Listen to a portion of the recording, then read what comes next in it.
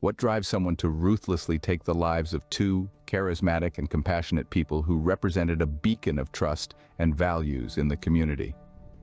This is the troubling tale of the double homicide of Yves Belluardo and Martine Chide.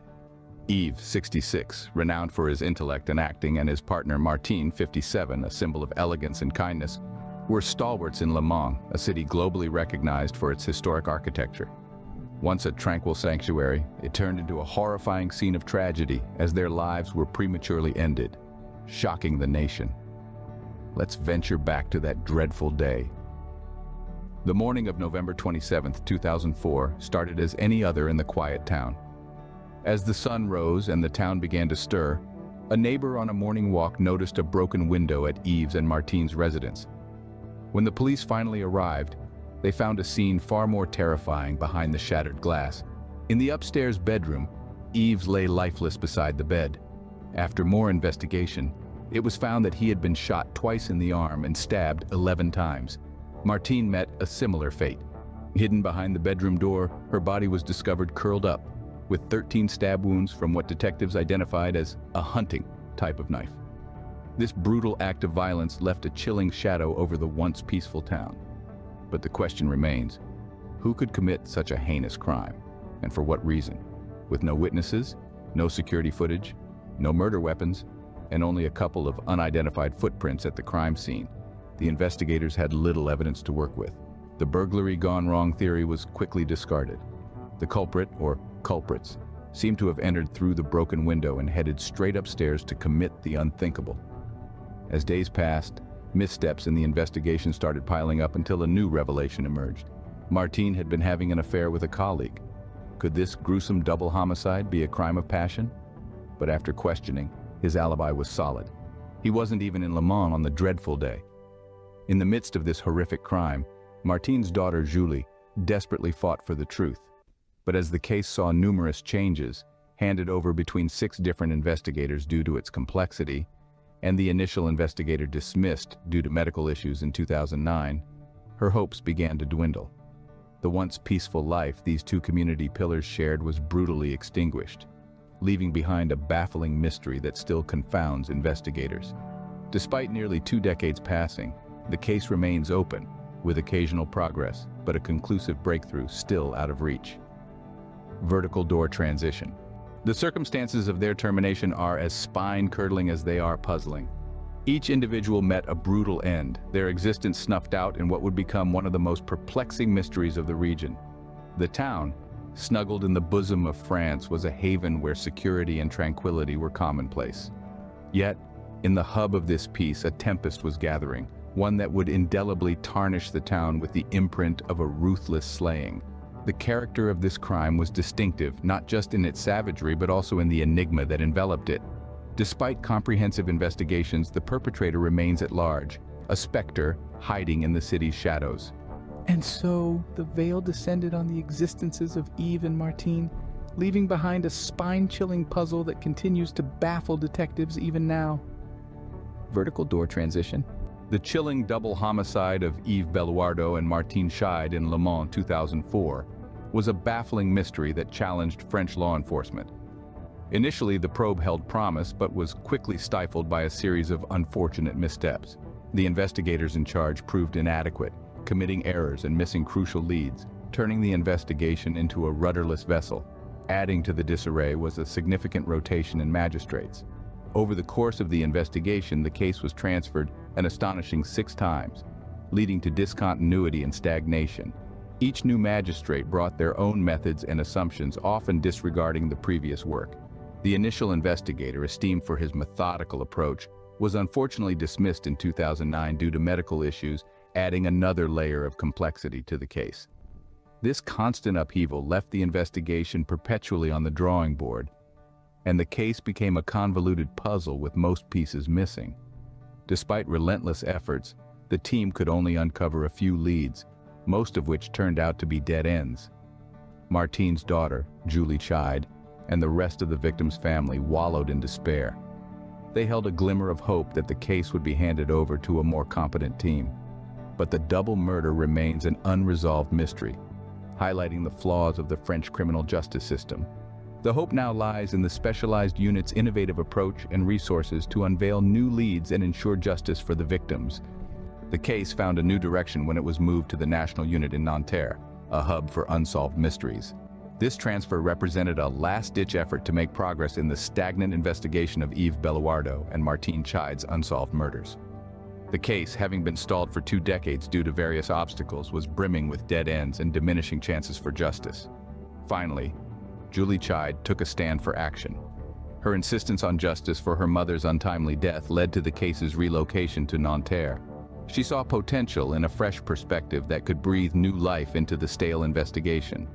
The National Unit wasn't just any other investigative unit, but a powerhouse of seasoned investigators who had received over 200 unresolved cases.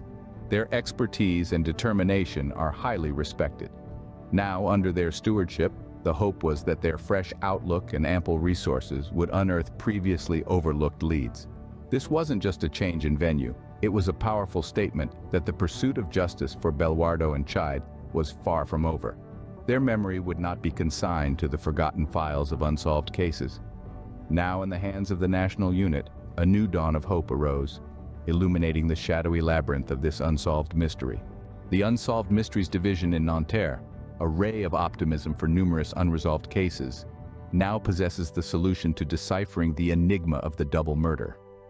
This national division, ensconced in the cradle of France, is a haven for conundrums that have been cloaked in doubt and desolation for too long. They are an amalgamation of exceptional investigators, forensic connoisseurs, and experienced detectives, all equipped with state-of-the-art technology and an intertwined ardor for justice.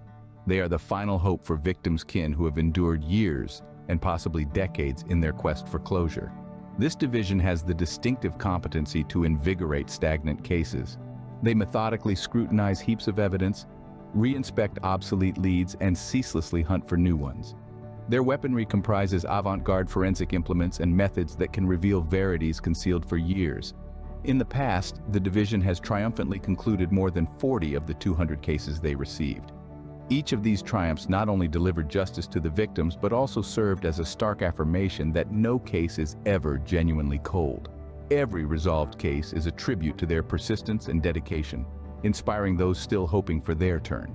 In the instance of the Le Mans double murder, the potential of incorporating specialized sleuths emits a hopeful glimmer. They plunge into the maze of hints, tirelessly sifting through the details, in pursuit of that elusive clue that could steer them to the solution. Almost two decades on, the unsolved double murder of Yves and Martine still haunts Le Mans, bringing distress to their families and the community.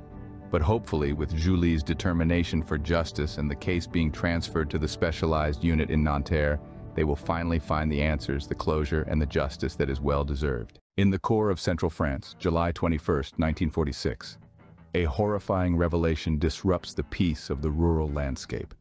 The serene calm of the summer day was abruptly shattered, replaced by an indescribable terror that forever imprinted its mark on the peaceful farming community. This is the chronicle of the Carteron murders, a chilling narration that still remains shrouded in mystery. Now imagine a family of tireless peasant farmers living in semi-isolation. Kleber Carteron, his wife Alphonsine, their son Andre, and Claude Godard, a state ward, were the embodiment of rural serenity, their existence deeply entwined with the rhythms of the land they worked. Their nearest neighbor, miles away, would only discern something gravely wrong four days later on July 25th. The crime scene presented a horrifying spectacle of raw brutality. The Carteron family was discovered bound and savagely slain in their own abode, the victims of a crime whose motive remains inscrutable even today. The murder instrument? A Sten submachine gun, a detail that was initially ignored amidst the turmoil of the preliminary investigations. In the wake of World War II, France was a country wrestling with the remnants of strife and societal instability. This unrest is reflected in the diverse conjectures that sprung up surrounding the motive of the Carteron homicides. Was it a personal grudge, a savage act of retribution, or could it be linked to the French resistance, a gloomy reflection of the recent war's violent repercussions? In 1948, a sliver of hope appeared as a suspect armed with a Sten gun was identified. However, like the fleeting shadows of a passing cloud, it quickly dissipated, leaving behind more questions than answers. The investigation went cold, the enigma deepened, and the spine-chilling account of the Carteron family murders remained an unresolved puzzle. As we delve deeper into this unresolved crime, brace yourself for a spine-chilling journey into the abyss. Within the gore-streaked confines of the Carteron farmstead, a horrifying tableau awaited the law enforcement. The silence that blanketed the secluded farmhouse located in the rural heartland of France was a haunting forewarning of the macabre scene that had unfolded. The Carteron family, regular farmers renowned for their peaceful yet rebellious nature, had been subjected to an unexpected and terrifying massacre.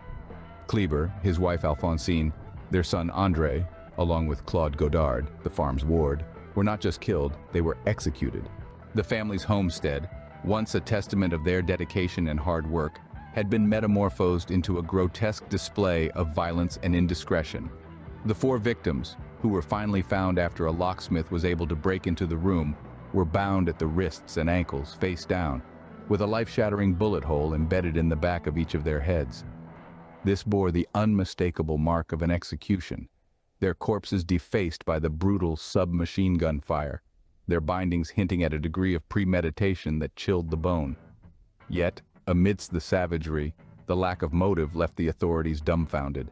The Carterons were unassuming, industrious people, far removed from the convoluted intricacies of city life. Their quiet existence offered no hint of scandal, no evidence of a personal grudge, no telltale signs of a botched robbery.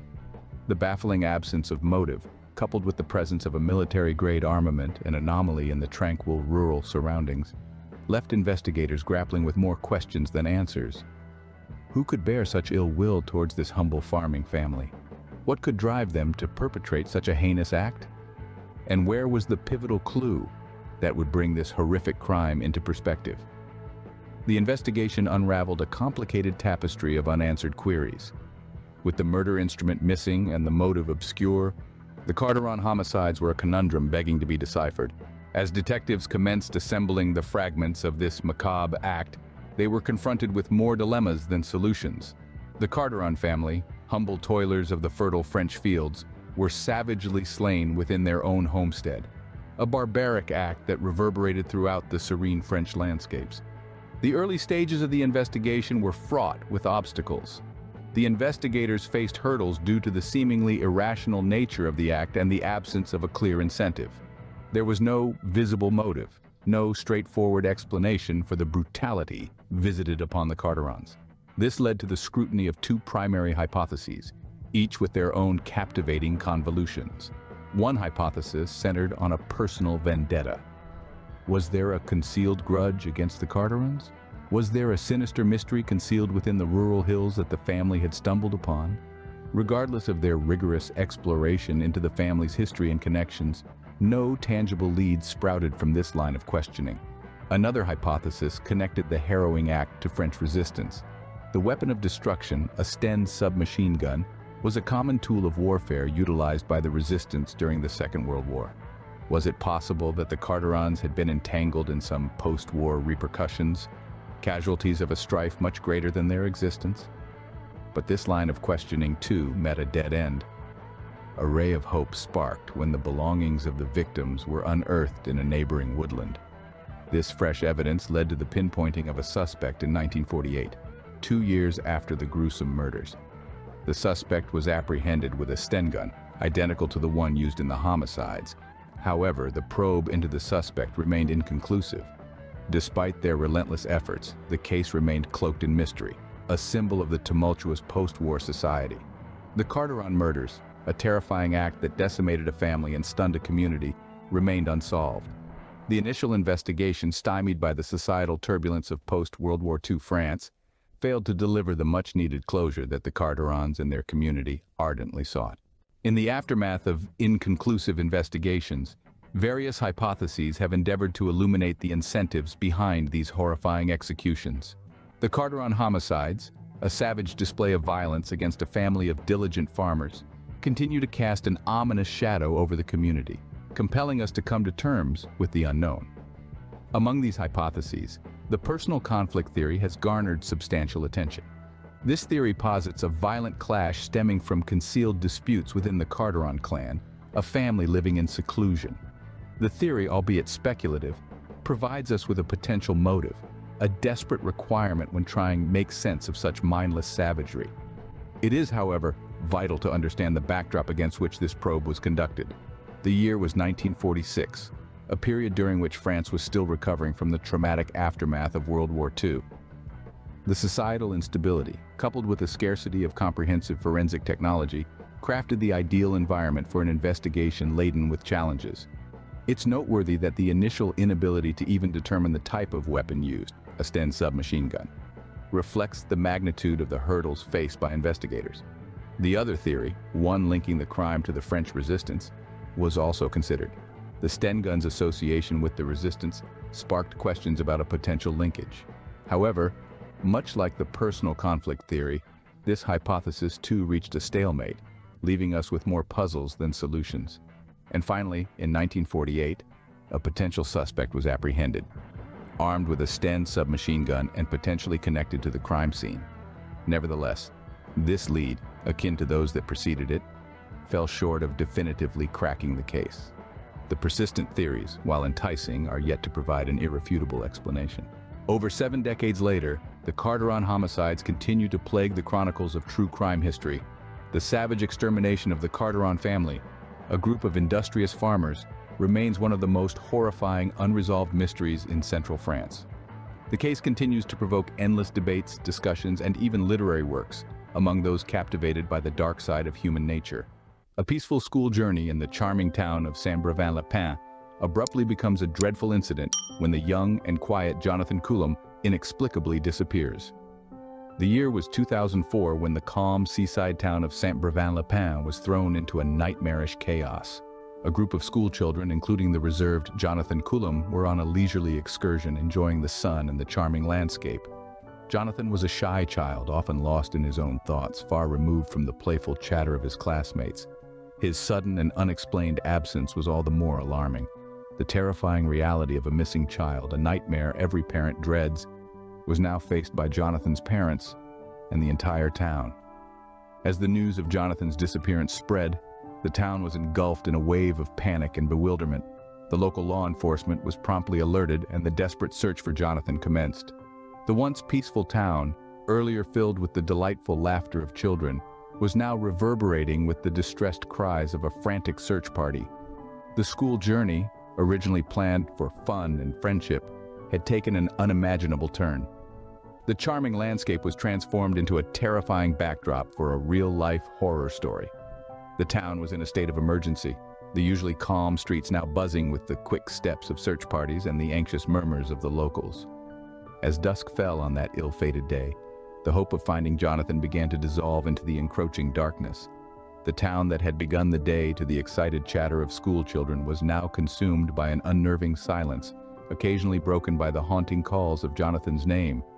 Jonathan Coulom, a timid child on a school journey, now a name permanently engraved in the annals of true crime. Jonathan's destiny, once an enigma hidden in the shadows, soon unveils itself in the most terrifying manner one could imagine.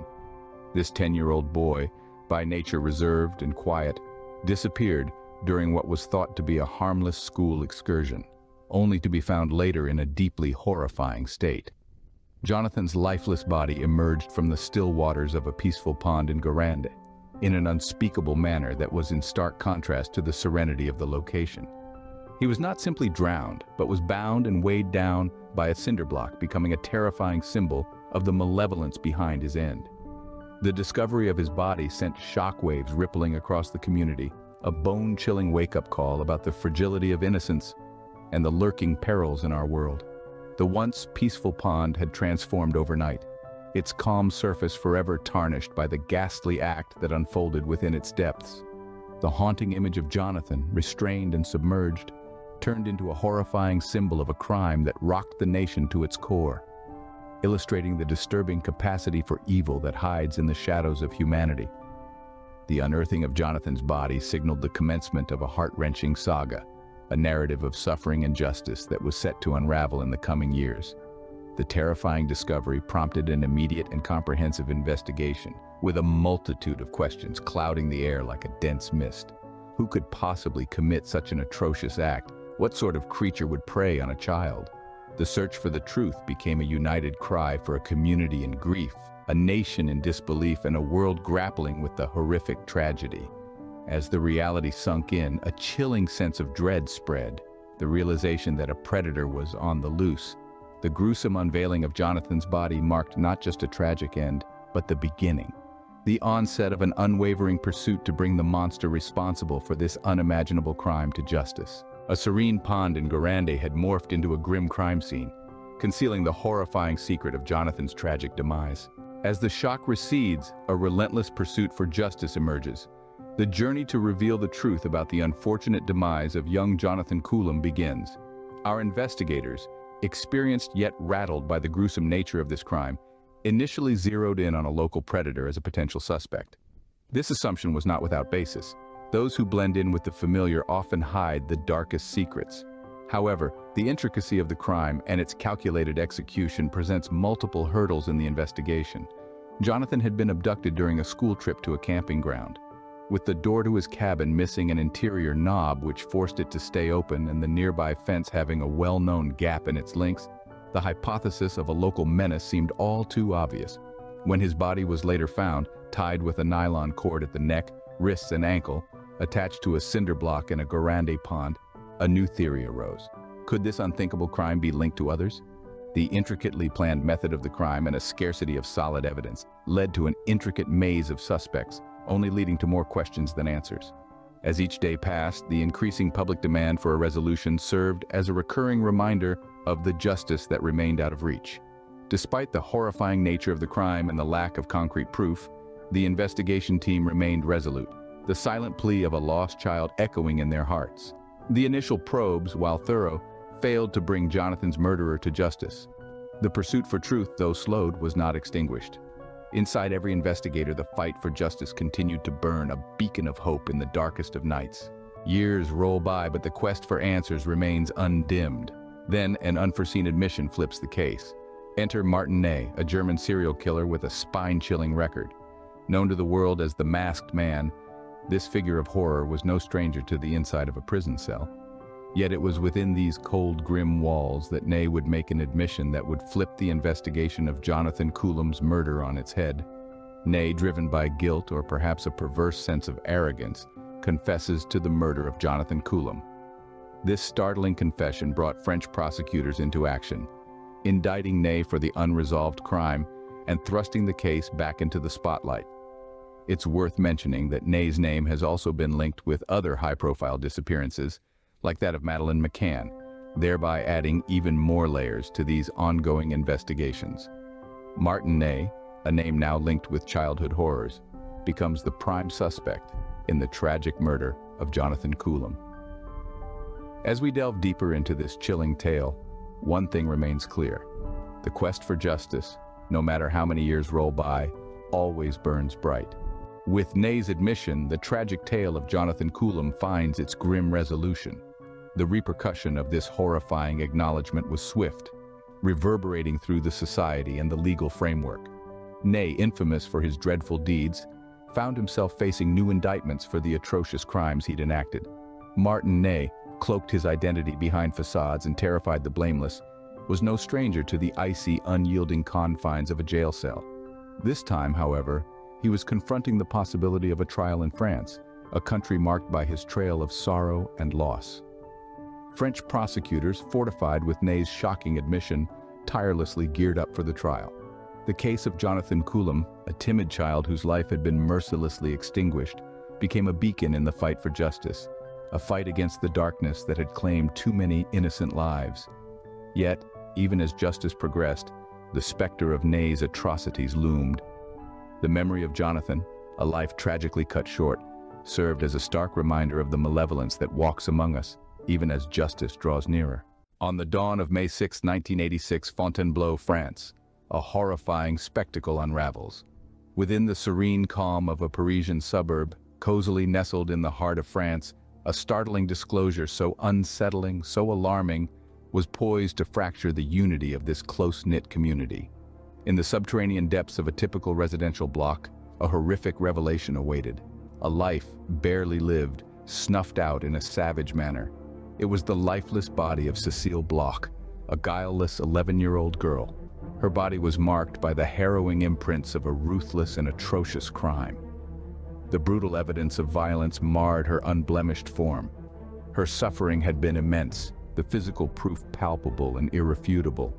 Evidence of violation, asphyxiation, and stabbing. Each element was more terrifying than the previous, sketching a bone-chilling portrait of her prematurely truncated life.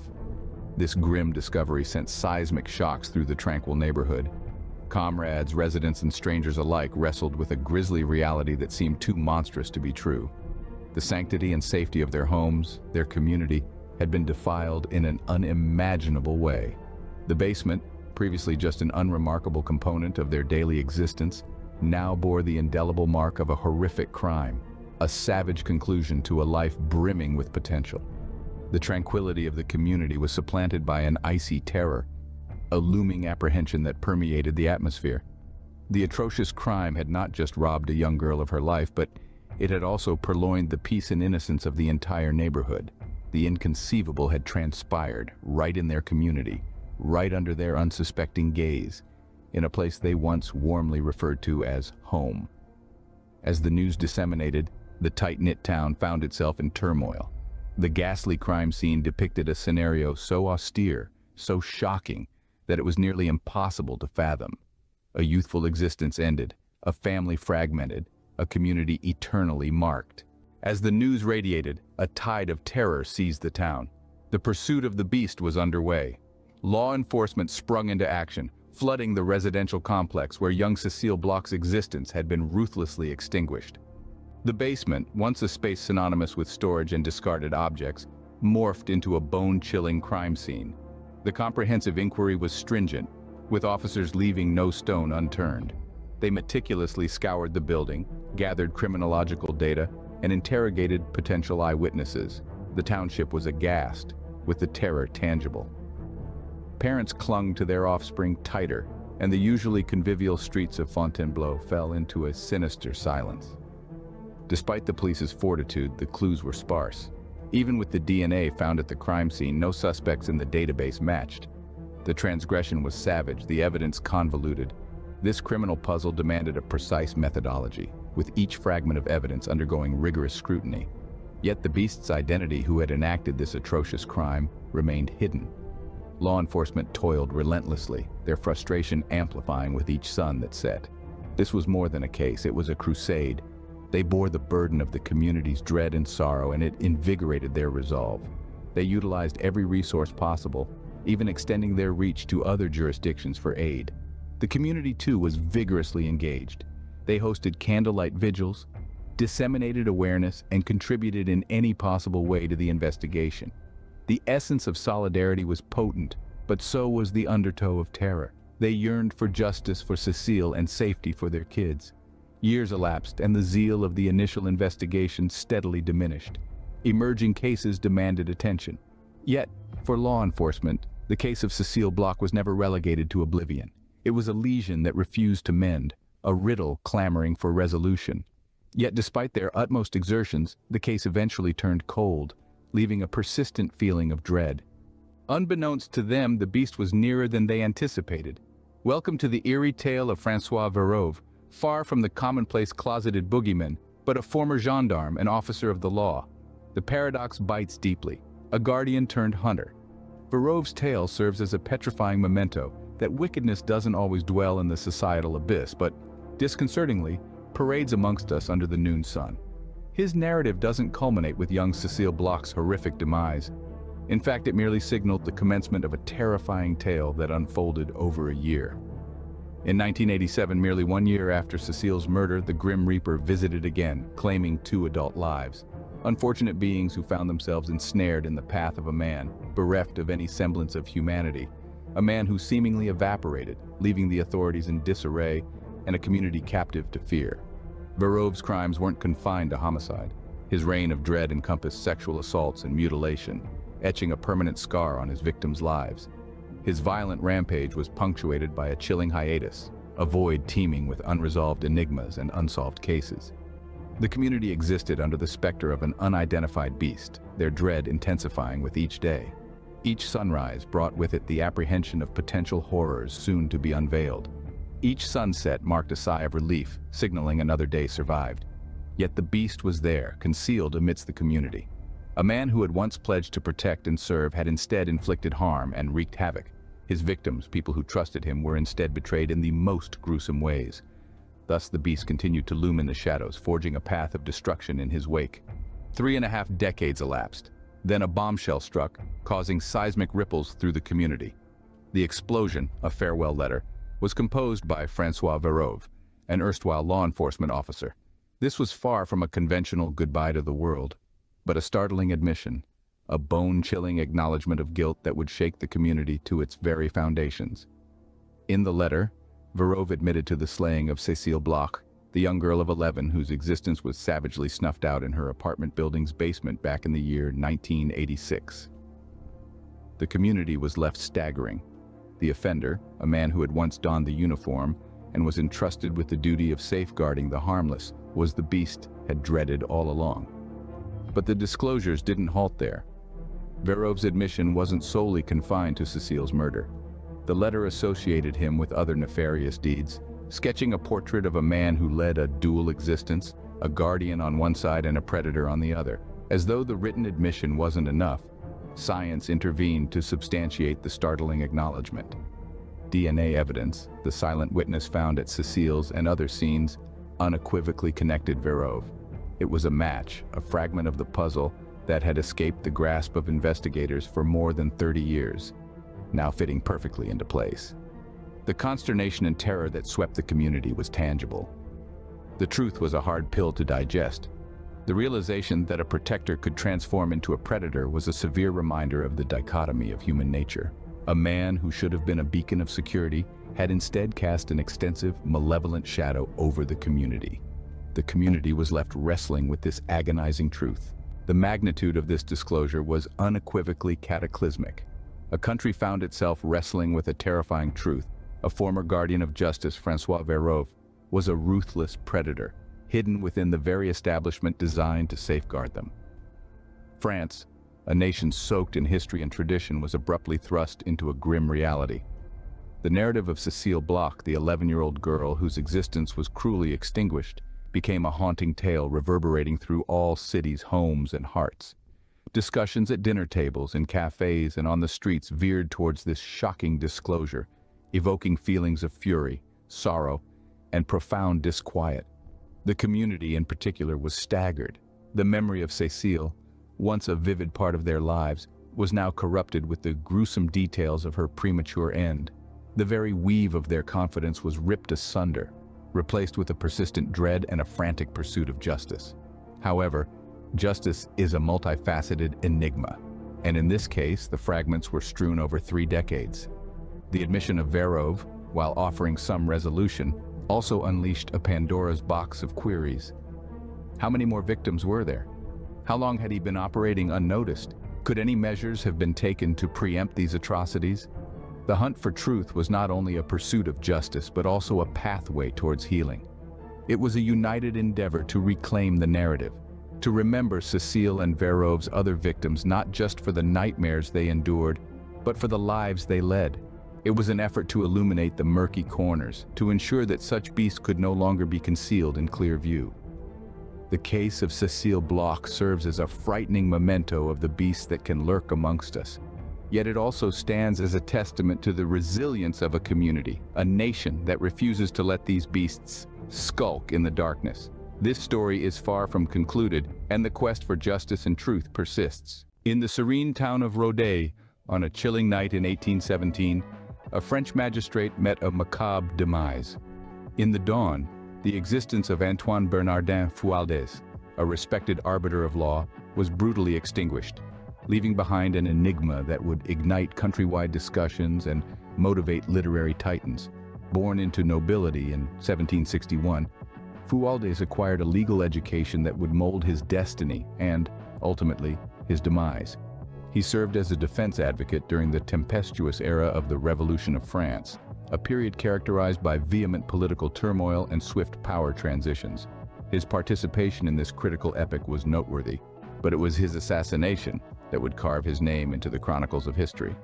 The circumstances surrounding his demise were enveloped in secrecy, whispers, and intrigue. The night was as obscure as the motives behind his assassination. The atmosphere was dense with suspense, and the haunting quietude was pierced only by the distant melodies of an organ grinder. His existence was claimed in the dead of night, his body abandoned as a grave testament to the violence that unfolded.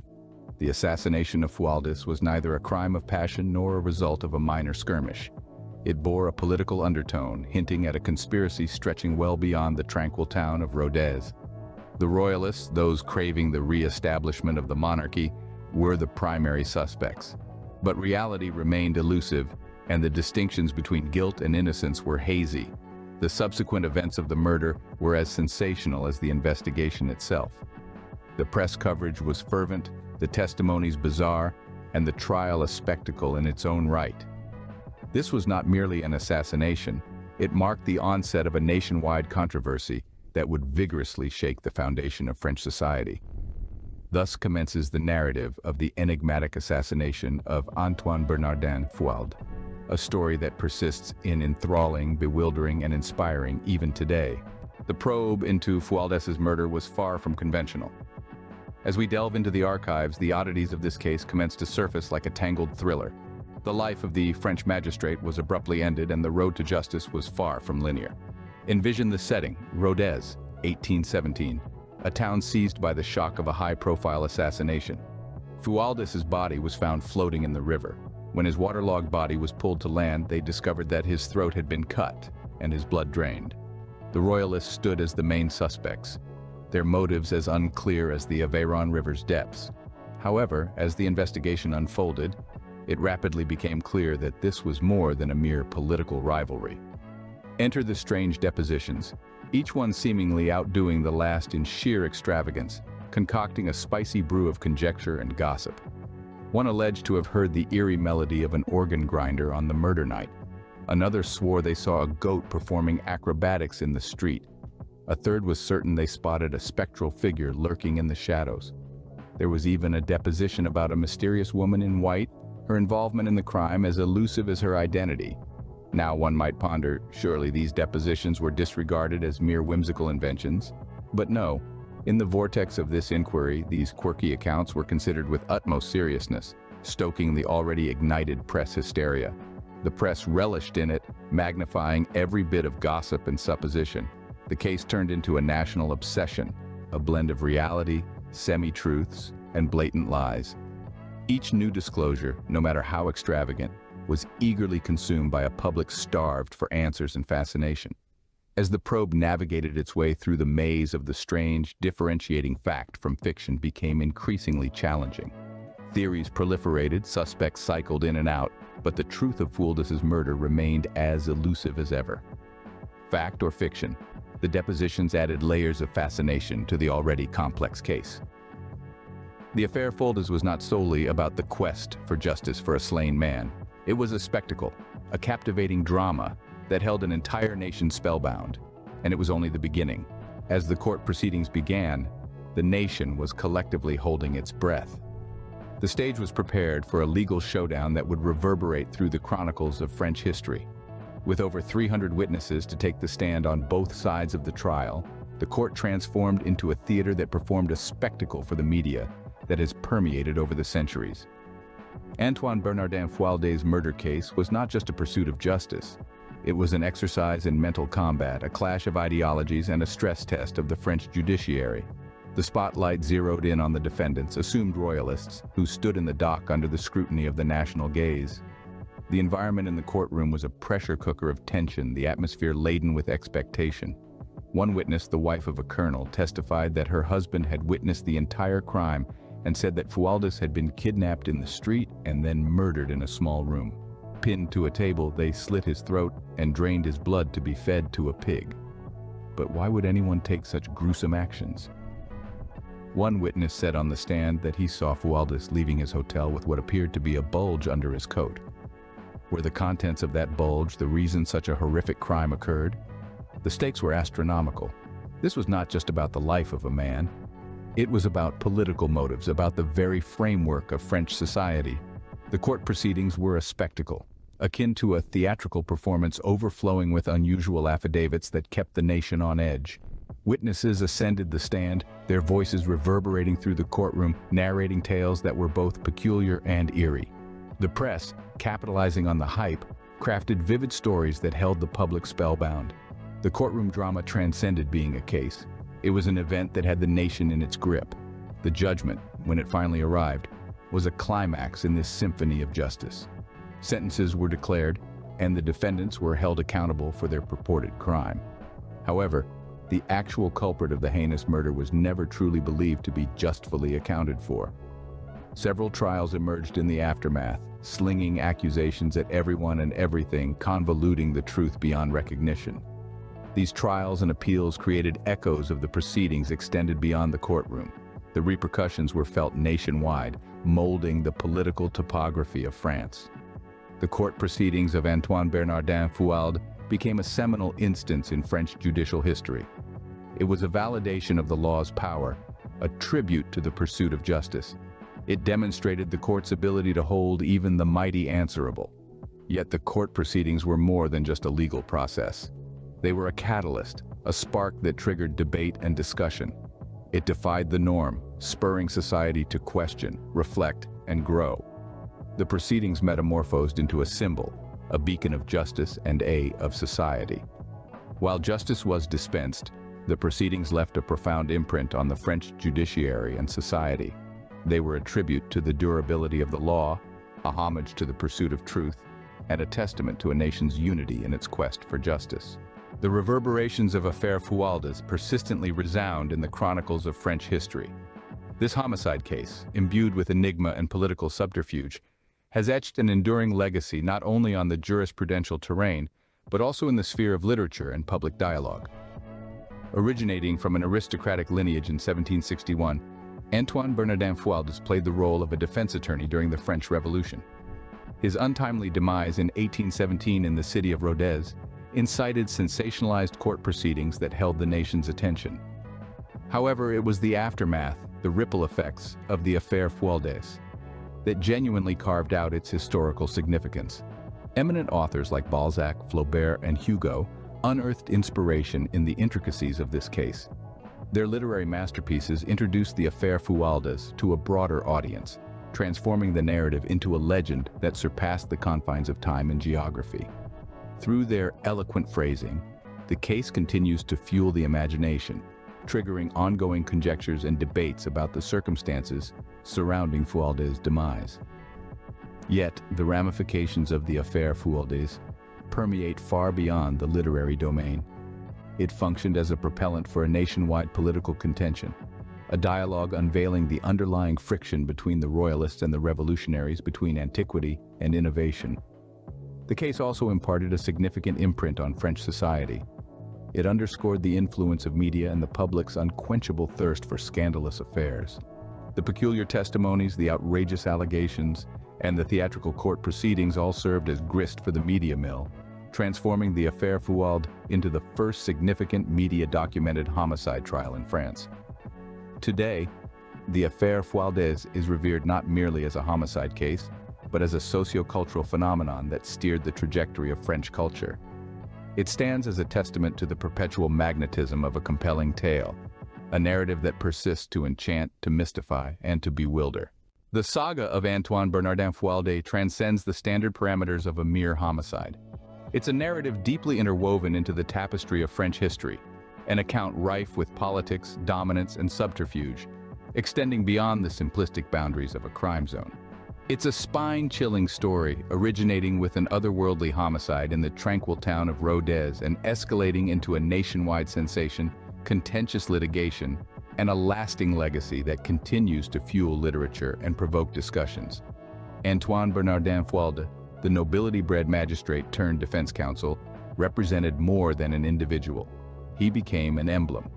His homicide in 1817 served not just as a crime, but as a political declaration that resonated throughout France. Monarchists were implicated, extraordinary testimonies were recorded, and by 1818, verdicts were pronounced. Still, The aura of mystery around his demise never entirely dissipated. But what is the reason? Why does the affair Fualdès hold our attention even after over two centuries? Perhaps it's the magnetic pull of the unresolved, the puzzle that keeps us conjecturing. Or possibly it's the theatrical narrative filled with political subterfuge and sensational press reportage. Or maybe it's because his homicide was not just a crime. It served as a watershed, a pivotal point in history that underscored the discord and strife of post-revolutionary France. The affair Fualdès was not merely about a man's demise. It spotlighted a nation wrestling with transformation, a society teetering on the edge of change, and a judicial structure under intense scrutiny. It was a story reflecting the intricacies of its era, a narrative that continues to reverberate even today.